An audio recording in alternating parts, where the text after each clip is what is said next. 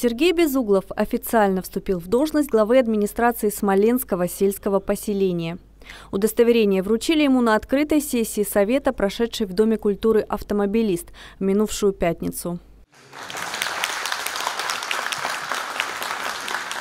В присутствии общественности актива поселения переизбранный глава принес традиционные клятвы, в том числе и направлять свою деятельность исключительно на благо жителей.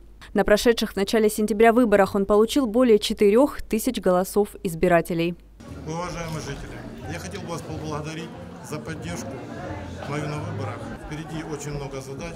Мы будем делать, исполнять и работать на благо нашего прекрасного района и края.